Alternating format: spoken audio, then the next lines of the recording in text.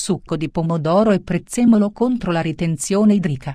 Il prezzemolo è ricco di elementi antiossidanti e sali minerali utili per depurare i reni ed eliminare il sale presente in eccesso nel sangue. L'edema è un'infiammazione che si produce quando il corpo ha difficoltà ad eliminare liquidi che si vanno ad accumulare sotto la pelle e nei tessuti che circondano il sistema circolatorio. Più che una patologia, potremmo definirla un sintomo caratteristico di alcuni disturbi che possono riguardare i reni, l'apparato digerente o il cuore. Si può cominciare a pensare ad una ritenzione idrica quando, improvvisamente, si notano le gambe, le braccia, il viso o la pancia insolitamente gonfi. Perché si verifica la ritenzione idrica?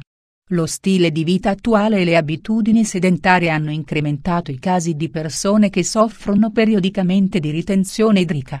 Questa condizione è il risultato di una perdita di equilibrio tra i liquidi del nostro corpo che si verifica quando i vasi sanguigni portano molta acqua ai tessuti oppure quando questa si deposita nei tessuti senza ritornare ai vasi sanguigni.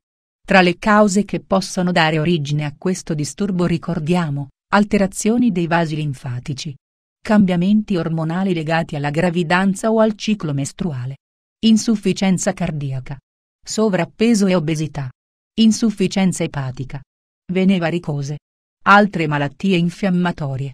Pomodoro e prezzemolo per combattere la ritenzione idrica Tenere sotto controllo la ritenzione idrica è di grande importanza dal momento che, oltre ad avere un impatto estetico, può portare a problemi di salute più seri, come nel caso dell'ipertensione. Il succo di pomodoro e prezzemolo è una bevanda con proprietà diuretiche che aiuta a combattere questo disturbo. Stimola il buon funzionamento dei reni e l'eliminazione dei liquidi in eccesso. Sia il pomodoro che il prezzemolo possiedono proprietà nutrizionali molto importanti, quindi, mentre combattiamo la ritenzione idrica, forniamo al corpo anche altre sostanze che fanno bene alla nostra salute.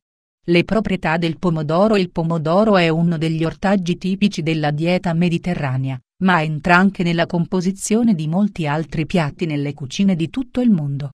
Per il suo alto contenuto di potassio, è tra gli alimenti più indicati per contrastare la ritenzione idrica o altri disturbi come la pressione arteriosa alta.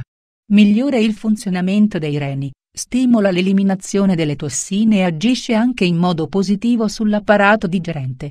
Le proprietà del prezzemolo Alcune persone fanno un po' fatica ad introdurre questo alimento nella loro dieta. Bisogna però ricordare che si tratta di una fonte ricca di antiossidanti, vitamine A, B1, B2, C e D e sali minerali come il potassio. Queste sostanze permettono al prezzemolo di ripulire i reni e il fegato e di stimolare l'eliminazione di sali e tossine in circolo. Contiene, inoltre, la clorofilla, un principio attivo che contribuisce a migliorare la digestione e a prevenire molte malattie come il cancro, le infezioni e i problemi cardiaci. Come si prepara il succo di pomodoro e prezzemolo? La preparazione di questo succo disintossicante è molto semplice, con poco sforzo, otterremo un buon rimedio contro la formazione degli edemi. Gli ingredienti base sono ovviamente il pomodoro e il prezzemolo, ma vi consigliamo anche di aggiungere qualche foglia di crescione per potenziarne l'effetto. Ingredienti 2 pomodori maturi una manciata di prezzemolo una manciata di crescione un bicchiere di acqua, 200 ml, 1-2 limone, facoltativo, preparazione lavate accuratamente i pomodori, il prezzemolo e il crescione per essere sicuri di aver eliminato tutti i residui chimici e la terra. Adesso, Tagliate a pezzi i pomodori e metteteli nel frullatore insieme al prezzemolo e al crescione.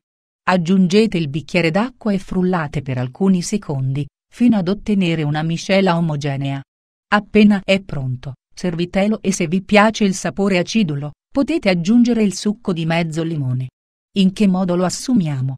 Affinché l'organismo assimili nel modo migliore tutti i suoi nutrienti, vi consigliamo di bere questo succo nelle prima parte della giornata, almeno 45 minuti prima di fare colazione. Potete prenderne fino a 3 bicchieri al giorno, gli altri due preferibilmente prima dei pasti principali.